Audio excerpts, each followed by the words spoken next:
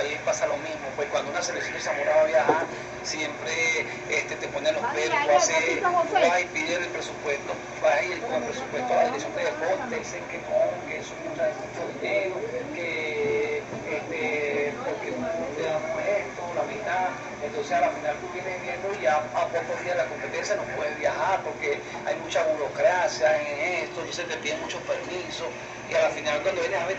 termina es como la ayuda de los representantes. Entonces ahí está uno de los detalles, porque uno tiene que decir, bueno, entonces, ¿dónde está el verdadero presupuesto que va a, las instituciones deportivas? Yo siempre he dicho que nosotros debemos primeramente descentralizar la dirección de deporte a, un instituto de deporte, pues que tenga su administración, que tenga eh, su, eh, su, cuerpo pues, de administradores eh, individuales, que no tenga que ver con la alcaldía,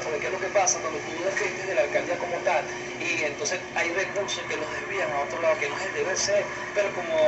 aquí estamos en un país que hacen lo que quiera y nadie dice nada, entonces eso es lo que yo digo, pues tenemos que nosotros este, descentralizar la dirección de deporte y hacerlo instituto autónomo para que el deporte cambie de manera radical y como tiene que ser.